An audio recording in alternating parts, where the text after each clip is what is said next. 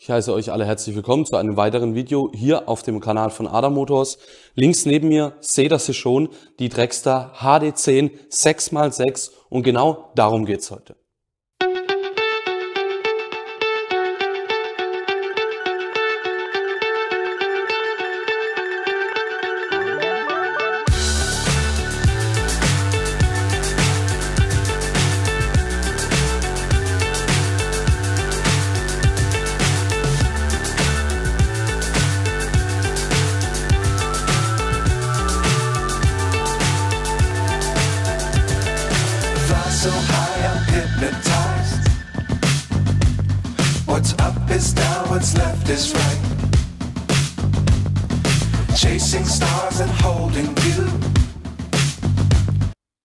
Wir fangen wie immer ganz klassisch vorne an.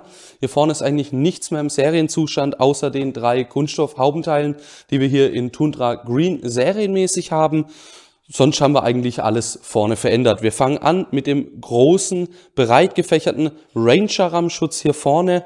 Direkt dahinter befinden sich einmal hier die charakteristischen Standlichtleuchten von der Dragster XMR, die sie ja serienmäßig verbaut haben.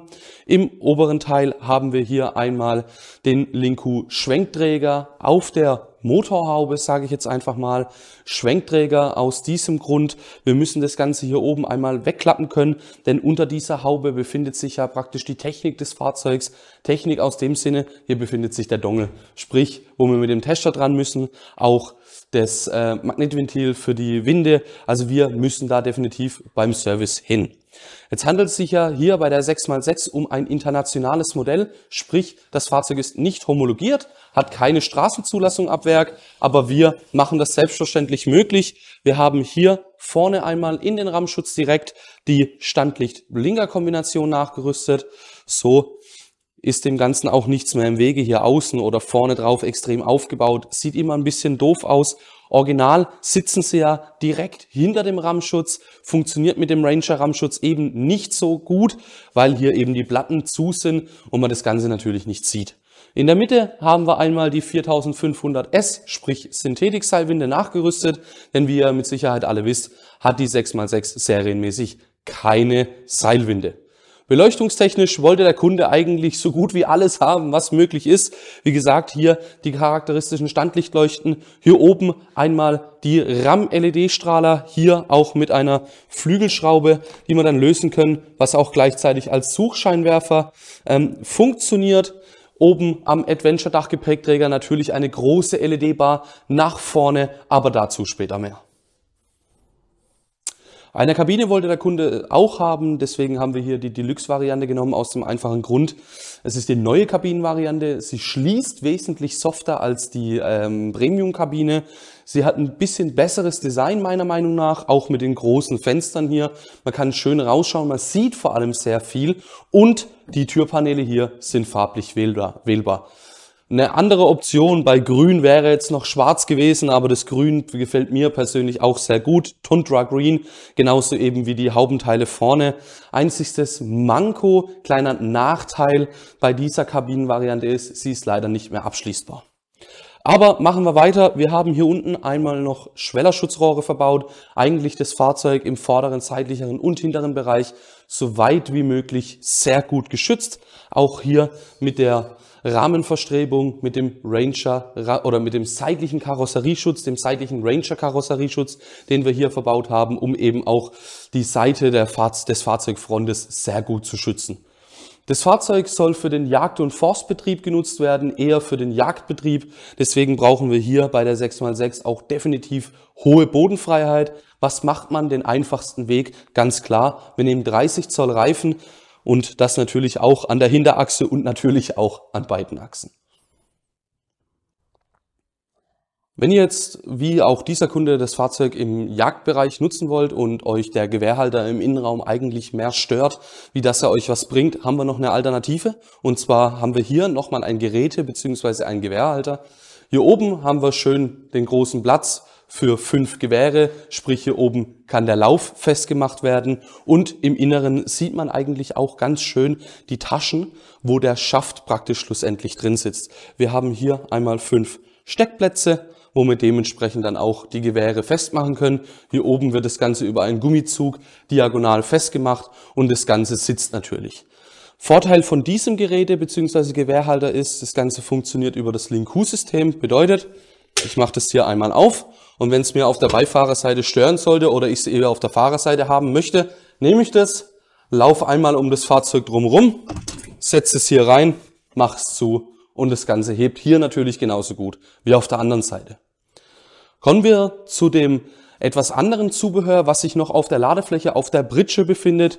Nämlich braucht ein Jäger natürlich auch eine Seilwinde hinten auf der Britsche, damit er sein Wild nicht auf die Britsche tragen muss, sondern eben auch ganz bequem mit der Seilwinde hochziehen kann. Wir haben hier zwei Möglichkeiten, das Ganze zu bedienen. Einmal direkt am Fahrzeug, einmal hier über den Kippschalter in und out oder super easy und bequem über die Fernbedienung, wo ich natürlich dann auch am Wild sagen kann, alles klar, zieh mir das jetzt hoch. Wir brauchen natürlich auch dementsprechend noch ein bisschen Werkzeug.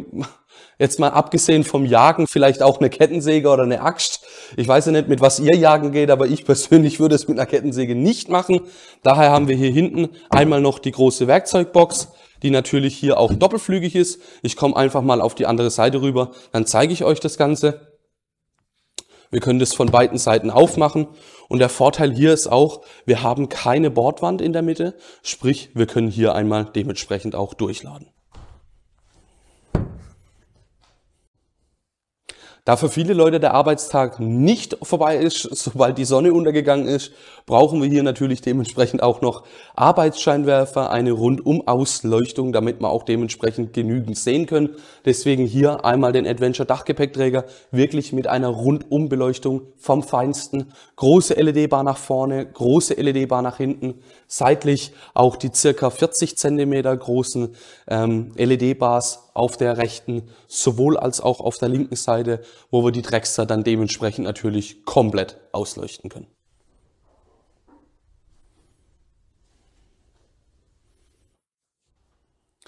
Hier haben wir auch schon das Herzstück der Dragster 6x6 HD10, wie ich es gerade eben schon gesagt habe, HD10, knapp 1000 Kubik, 82 PS, Zweizylindermotor. Was haben wir hier hinten eigentlich noch so alles? Wir haben den Kühlmittelbehälter.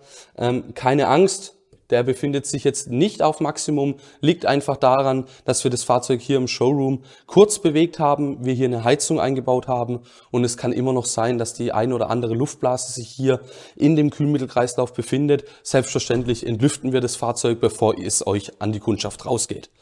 Links daneben haben wir noch einmal den Wischwasserbehälter, denn die Frontscheibe vorne kann natürlich auch die Scheibenreinigung. Wie im vorderen Bereich des Fahrzeugs schon erwähnt, handelt es sich hierbei um ein internationales Modell. Bedeutet, wir haben keine Straßenzulassung, habe ich vorne auch schon gesagt. Wir machen das Ganze natürlich möglich. In die Originalfassung kommen die Blinker rein, natürlich auf der Beifahrerseite und auch auf der Fahrerseite. Was gehört noch dazu? Klar, Standlicht, Bremslicht, serienmäßig. Eine Anhängerkupplung, eine Anhängersteckdose, Kennzeichenhalter mit Kennzeichenleuchte und natürlich die Schneebelschlussleuchte. Wenn wir uns jetzt gerade eben schon hier unten befinden, der Kunde wollte auch noch eine Rückfahrkamera haben. Diese haben wir in diesem Bereich hier montiert. Aus dem einfachen Grund, hier kann er seinen Kugelkopf noch mit anschauen oder er sieht seinen Kugelkopf noch und sieht dementsprechend auch, wenn ein Hänger hinten dran hängt, äh, anhängen möchte, wie weit er zurückfahren muss. Zurückfahren ist eigentlich ein sehr gutes Stichwort. Denn wir haben hier auch noch den Heckrammschutz verbaut, der natürlich etwas über das Fahrzeug hinausragt, falls ihr wirklich mal zu weit zurückgefahren seid, damit eben das Fahrzeug nicht sofort Schaden davon trägt. Im Innenraum fangen wir ganz links an, befindet sich hier der Lichtschalter für Abblendlicht und Fernlicht und hier ein Riesenvorteil bei der 6x6, wir können das Licht separat komplett ausschalten. Jetzt werden sich die einigen denken, wow Jungs, super gemacht, ihr könnt bei einer Dragster das Licht ausschalten. Aber gerade im Jagdbereich haben wir hier einen Riesenvorteil, wenn wir das Licht eben ausschalten können, weil wenn ihr dann fertig seid mit Jagen oder im Fahrzeug irgendwas holen wollt schaltet die Zündung kurz an, warum auch immer, und könnt das Licht nicht ausschalten, ist der komplette Wald hell und dann jagt ihr abends nämlich gar nichts mehr.